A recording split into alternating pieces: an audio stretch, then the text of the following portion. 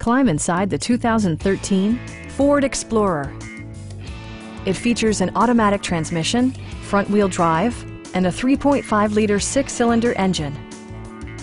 Ford prioritized comfort and style by including front and rear reading lights, a trip computer, remote keyless entry, rear wipers, and cruise control.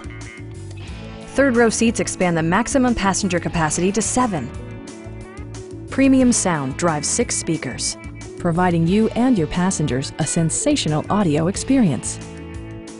With side curtain airbags supplementing the rest of the safety network, you can be assured that you and your passengers will experience top-tier protection. Our experienced sales staff is eager to share its knowledge and enthusiasm with you. We are here to help you.